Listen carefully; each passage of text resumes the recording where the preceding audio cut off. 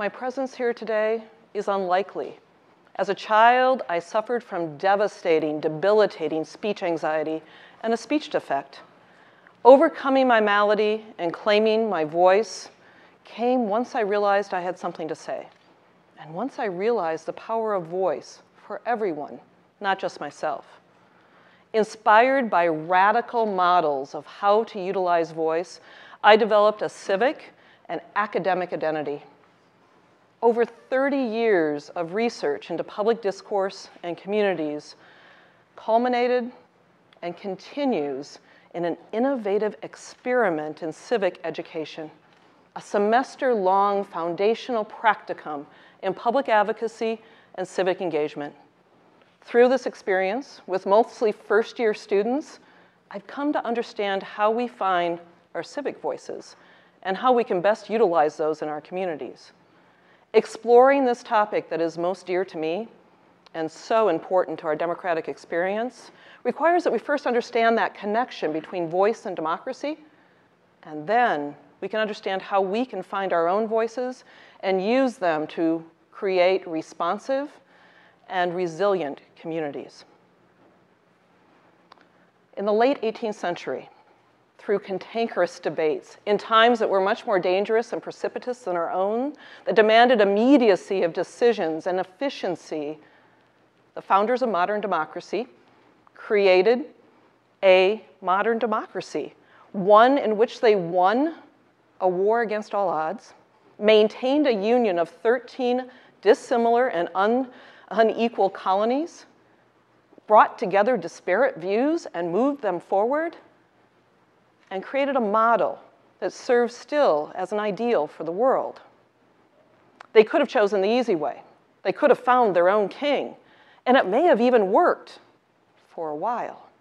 Instead, they chose a path that was difficult, untried, and enlightened. They believed in the power of human beings to reason, to come together, and develop the best decisions for a community at any given time. Democracy, wherever you find it, is founded in protest. And it's only through protest that we've ever gotten any rights. No rights have ever been granted freely. In 1848, women first petitioned for the right to vote. They didn't get it till 72 years later, and only one woman, who was a small girl at that time, survived the 72 years of constant struggle to cast a vote in the 1920 presidential election.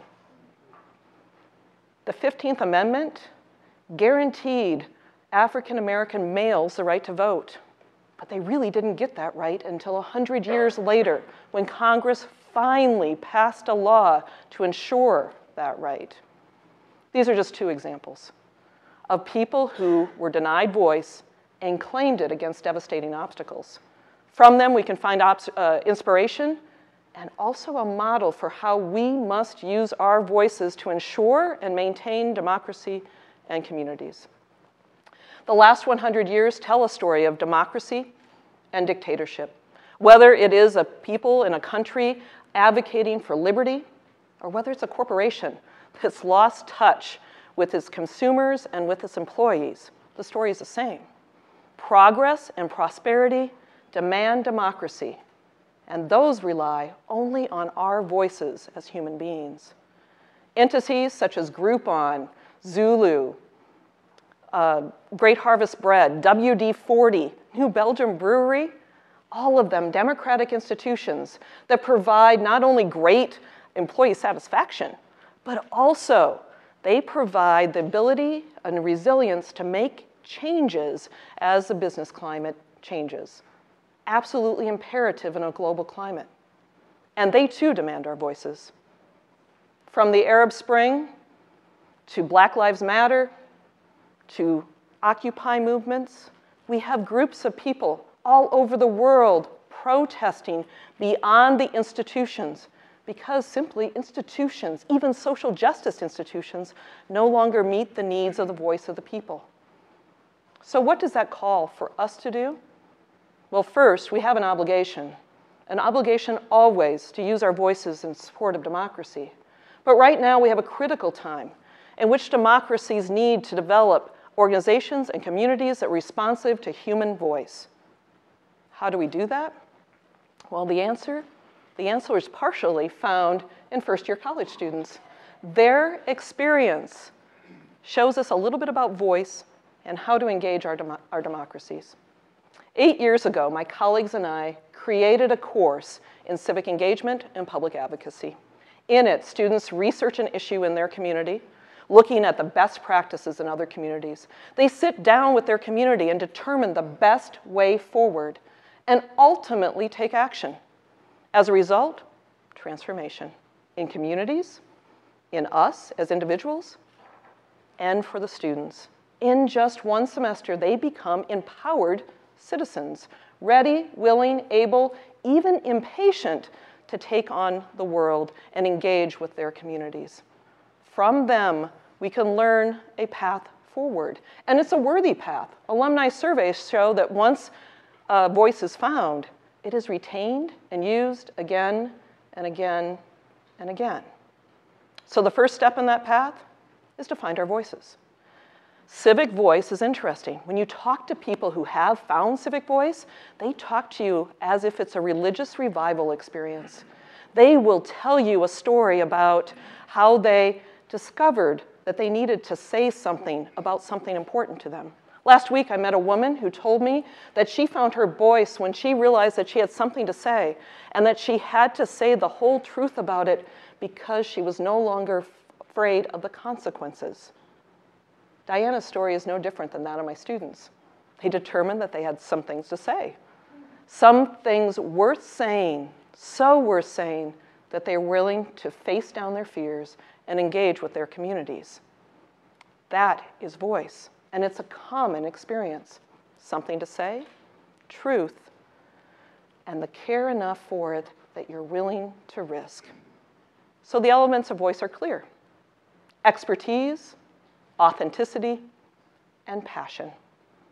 Where they come together and meet to address a community need, that is voice. Quite simply, it's not complex. You know what? It's not even new. Those are the same principles of credibility competence, character, and charisma. What's new about it is when we do it in our community with meaning and purpose, we have the ability to uncover our personal voices and transform communities. So, how do we do that? Well, the first step is expertise. Expertise makes sense to us. The world is full of unsupported opinion. What we demand from people is we really want to hear someone who's researched it fully, considered all sides, and is speaking for the community, not out of personal benefit. From that expertise comes authenticity, the willingness to tell it like it is, that is the person who can speak truth to power. And of course, at the end, we have to have passion. For our care and concern and community, we get a courage out of which we're willing to take risks. Expertise, authenticity, and passion. That simple. So how do we start?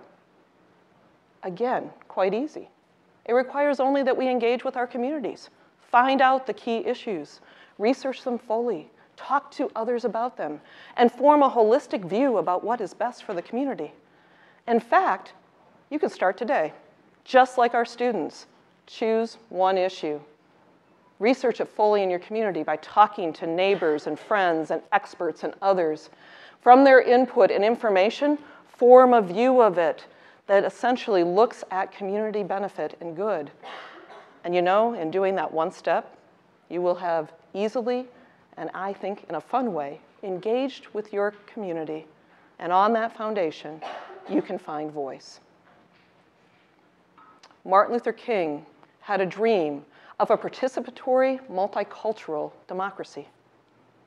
Mary Fisher blew apart the silence of HIV and AIDS. And students are invested and engaged in their communities. All of these people claimed voice and in doing so, they've opened up a grand and broad space in our democracy that demands that we step into it. And today we can. I ask you, just simply, to take that step into that void of what democracy calls from us a voice with expertise, authenticity, and passion. And what we can do from that is transform ourselves and our communities. Thank you.